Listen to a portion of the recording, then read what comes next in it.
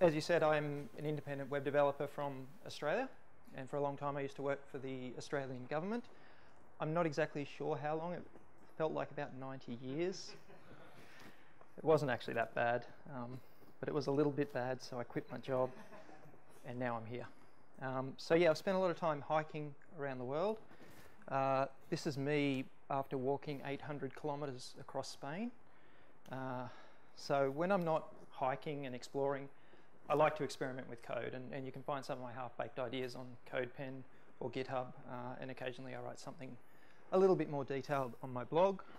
I'm on Twitter too if you want to follow me, and it's how I measure my self-worth, so that would be awesome. Um, but yeah, the title of my talk is a CSS eulogy, so I should say thank you all for coming on this very somber occasion. Now, it's not a eulogy for CSS itself, although the landscape is certainly changing, and that is something that I want to touch on. I don't think we'll be saying goodbye to CSS itself anytime soon. So rather this is a talk about looking critically at some of the patterns and techniques that we've regularly used and asking ourselves, is this the best way or have things moved on? And surprisingly, the answer to that might not always be obvious. Now, I'll be honest with you, it's not going to be easy. Uh, we'll be laying to rest some much loved patterns and designs, things that have served us well over the years, so lean on the people around you.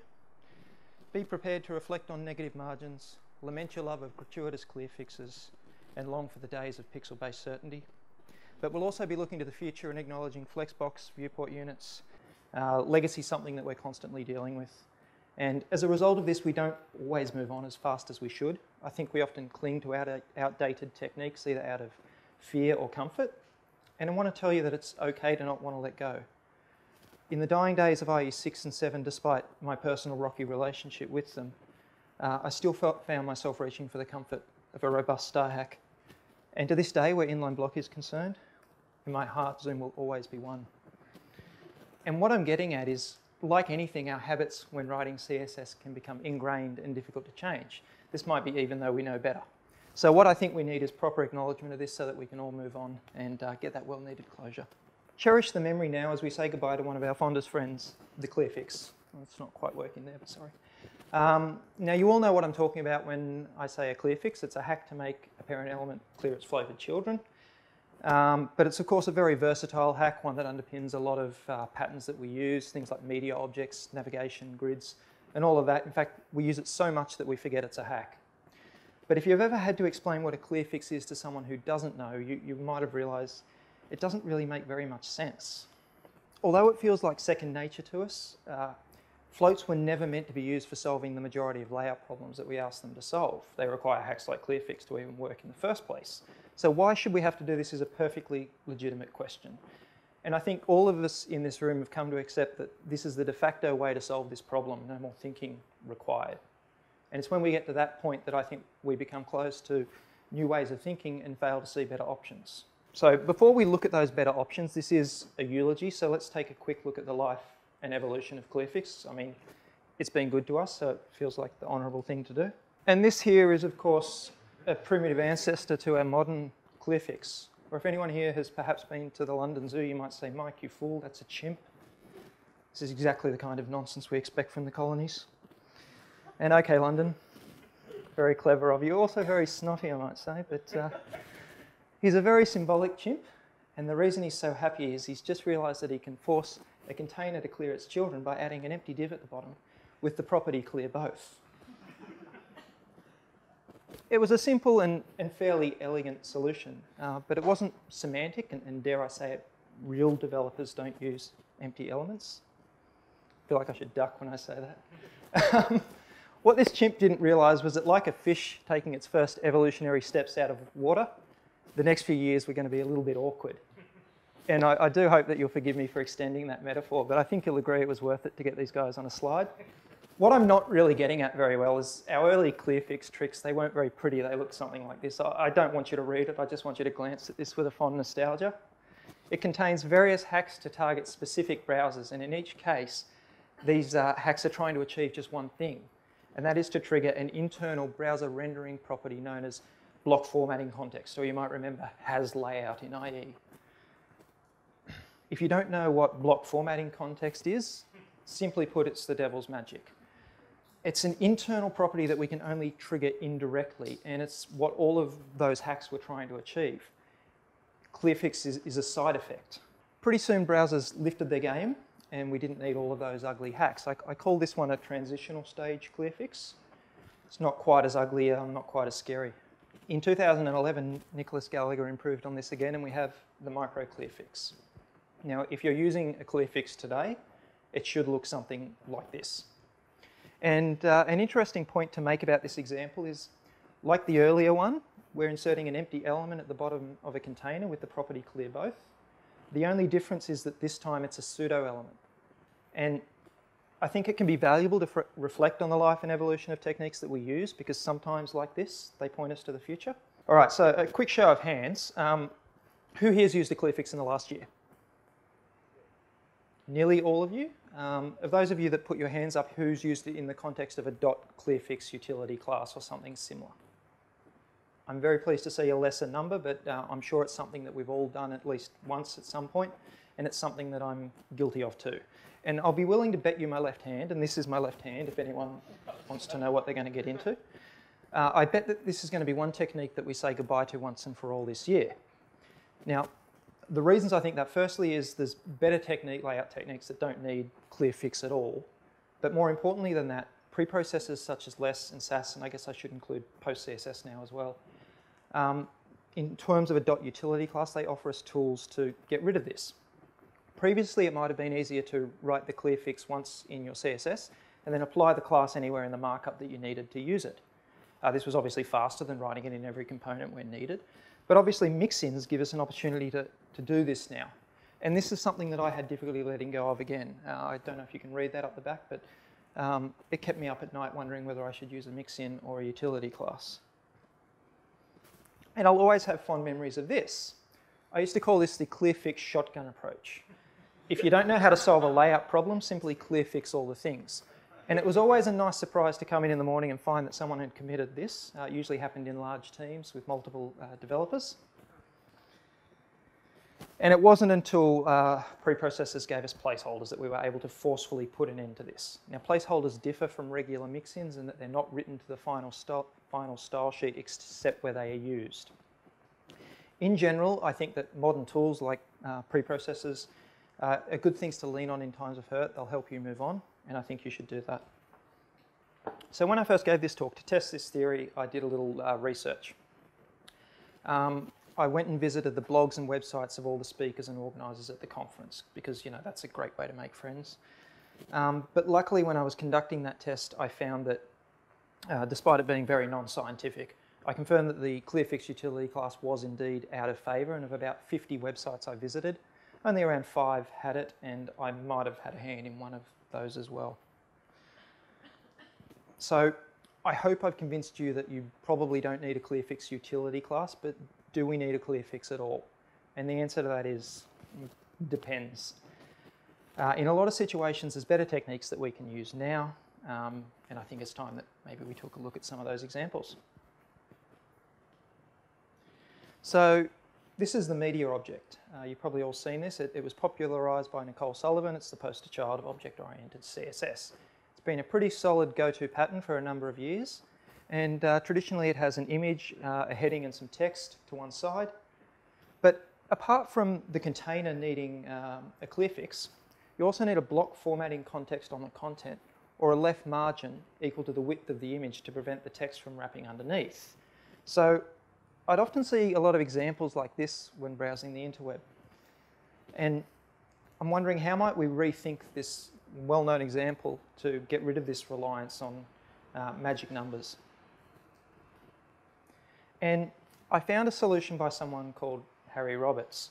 Now I have no idea who he is, but his solution looks pretty good he wrote about something he calls the flag object. And it's not just a poorly disguised rebranding of the meat. No, it, it is just a poorly disguised rebranding of the media object, let's be honest. But it adds to it with some additional options and versatility. Uh, it's supported as far back as IE8, so if you're supporting legacy, uh, it's an option. Um, but as well as that, you can vertically center the image or align it to the bottom, and because the image extends to the full width of the container, you can have different background colors. And sorry for my terrible color choice there. Um, I'm a much better designer these days than when I developed that one. But anyway, it makes use of display table, and personally I feel that that's something that uh, is criminally overlooked. I wouldn't use it for outlining, uh, out, laying out a whole page, but used in moderation in components, I don't see really what the problem is. I think we just sometimes cringe at the word table. Um, but if you're ready, there is a more robust solution uh, that uses Flexbox, and this one's by Philip Walton. So like the flag object, this implementation gives us control over the positioning of the image. Uh, but as well as this, we get something called source order control. This means that we can move it to the left or the right without uh, changing any of the HTML. And all of those alignment options are inherent in Flexbox, and this is really good. This means that we're not relying on uh, hacks and things to uh, make them work. So I'm not going to um, give full detail of all those different techniques, but suffice to say that Flexbox gives us greater control over layout than any of the techniques that we commonly use. And as I said, they're built in. So if you haven't seen Phil Walton's site Solved by Flexbox, I strongly recommend that you go and have a look at it after this. It contains that and many other patterns. Um, but for now, let's just take a quick moment's silence to say farewell to Clearfix. We've loved you, and you were there for us when things were tough. You will always have a place in our hearts, but sadly, we no longer need you like we once did. You may be destined to fade into obscurity, but you will not be forgotten. Thank you, Clearfix.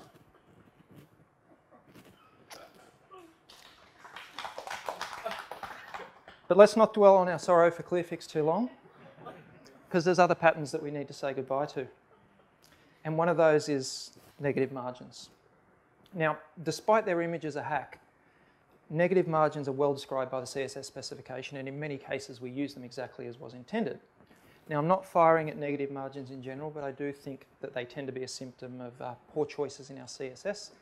And with more layout options available, I'm finding fewer situations where I actually need them. So one practical example of this, and a pattern that we've seen many times, um, one that's probably familiar to you if not quite as comfortable, is modals. Or more generally, positioning anything in the center of the screen. Uh, it might be a logon box, a message, a dialogue, or you might be asking me to share your article on Facebook before I've even read it. and um, of course, if that's what you're doing, you can stop, but uh, there are legitimate reasons for needing a pattern like this. And whilst it might not be as close to our hearts as Clearfix, I think maybe we could quickly take a look at the life and evolution of this pattern. So historically, we might have used an alert or a confirm dialog, but the problem with these is they were ugly, obnoxious, and we couldn't change a thing about how they looked.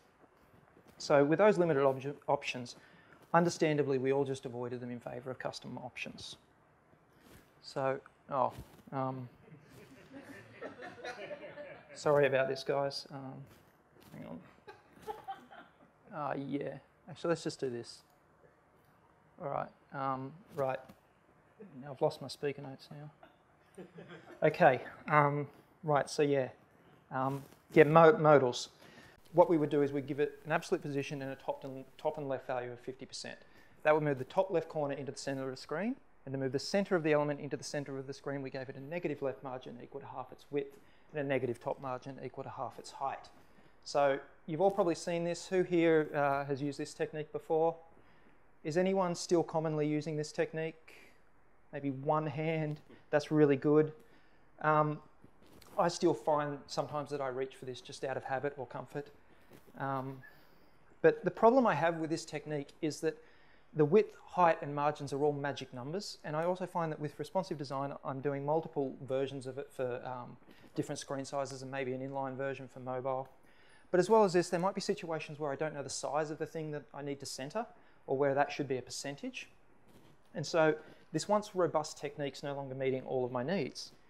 Now, to address that unknown size thing, uh, one of my first inclinations was to try and solve this problem using uh, percentages for negative margins. And of course, that's a problem I only made like a thousand times as, as a less seasoned developer. And it's a simple mistake that uh, you've possibly all made. But percentages for ne where negative margins are concerned are relative to the parent container, not to the element itself. Uh, so that's not really that intuitive. But luckily, this is how CSS transforms work unlike negative margins when using translate to position an element, you can say move it, move it 50% of its own width or 50% of its own height in any direction. So it's a lot more robust and intuitive and no more magic numbers. But, like I said, you've probably, you've probably all seen that technique as well, but this too might be a transitional stage solution. I think that this pattern may also be on the verge of making another evolutionary step. And what I'm talking about is the dialogue element. Now, this is relatively new. Uh, I think it's in Chrome and Opera, but I, it may have recently landed in Firefox, I'm not too sure.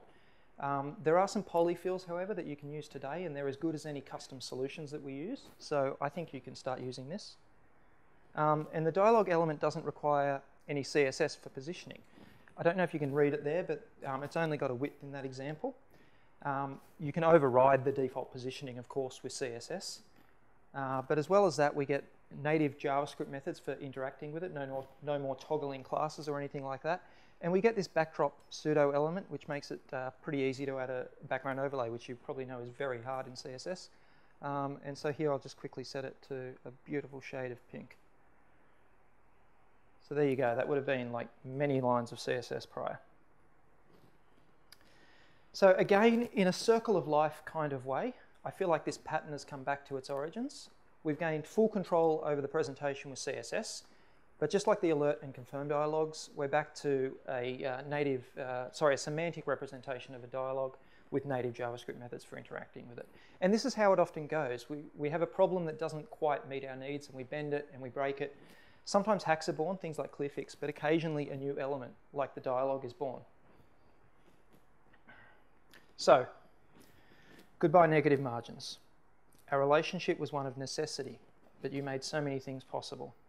And whilst this might be goodbye, it could, however, be a chance to reacquaint ourselves with some patterns whom, thanks to your hacky ways, we may have lost our spark. Now, the final farewell I want to mention today is the shake-up that viewport units are going to give some of our topography and layout best practices. So, viewport units have been around since 2012. In fact, IE was an early mover and they're supported as far back as IE9. Viewport units are really easy to understand. It's basically 1% of the viewport. So there's four types of viewport units. Viewport, uh, VW, which is viewport width, VH, which is the viewport height, VMin, which is the width or height, whichever is smaller, and Vmax, which is the width or height, whichever is larger. So that's pretty intuitive. So I think that the reason viewport units are not used more often isn't due to a lack of developers' understanding or browser support, but rather more down to the lack of control that designers have, and, and maybe specifically over things like font size. So you might have thought that we said goodbye to pixel-based font sizes in the late 2000s, and we largely did. We favoured EMs and percentages because uh, pixels don't change according to user preferences, and this is bad for accessibility, if not just rude. But pixel-based typography wasn't quite dead. It was just lurking in the shadows and waiting for the days when browsers offered zoom to enlarge text. And with this, some developers decided that the accessibility concerns of pixel-based fonts were no longer as much of an issue. That debate still rages, but the truth is whether you're using EMs, REMs or percentages, these are all just abstractions of a base font size and we usually know that to be 16 pixels. So we've never really had to give up complete control. But viewport units are different. They represent an evolutionary leap, a fundamental change in approach. For the first time, we have true responsive typography. Viewport units are not relative to the base font size in any way, and I think that's what scares some people. This means goodbye to clunky responsive type techniques like this. And the problem with examples like this is that they're jumpy, they require multiple media queries, and they don't necessarily resize in proportion to other elements on our page. This means that they can jump out of containers, trigger overflow, cause all kinds of mess. It's like feeding a gremlin after midnight. And honestly, I don't know why we've persisted with this method of responsive typography for so long. Avoiding some of these problems, and we can limit uh, the scaling by only applying viewport units above a certain screen size. Uh, we could also use calc, and this example says set the font size at a viewport width of 0 to exactly 16 pixels, so that's a little bit more precise, and then scale at a rate of 3 viewport widths from there. Um, so yeah, there's still limitations, but there's, there's ways to hack around them again. But when I was preparing this talk initially, I was thinking about some of those limitations. And whilst we can limit scaling with media queries and calc, we still don't have full control. So we're essentially uh, not over multiple uh, viewport widths anyway. We're limited to whatever three viewport widths was in the previous example, at any screen size. Without another media query or a change in the font size, we can't change it to, for example, to 32 pixels at an 800 pixel resolution. Like every eulogy you've ever been to, this one ends with a closing rant.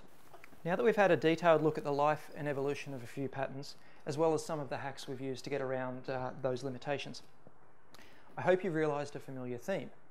Our hacks are usually just clever workarounds for the limitations of CSS, and in most cases, those limitations relate to layout.